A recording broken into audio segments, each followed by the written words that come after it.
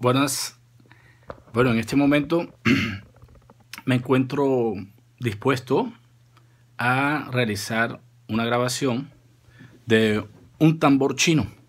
Es un pequeño experimento, ya que nunca he tenido la oportunidad de, grabar este instrumento de percusión.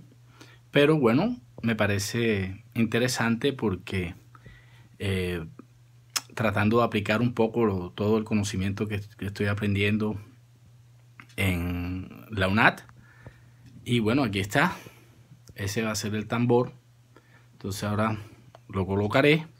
Aquí está la sesión. Previamente grabé unas palmas. Eh, un poco, digamos así, informal. Grabé unas palmas y las coloco, las colocaré en estéreo para dar un poquito de, eh, de ambiente, un poquito de profundidad. Y ahora voy a buscar la manera de eh, ubicar el micrófono, que aquí está. Voy a utilizar un SM, un Shure SM58. Eh, me gustaría usar un 57, pero no lo tengo a la mano. Entonces voy a tratar, voy a, hacer lo posible de, de sacar un buen sonido con este.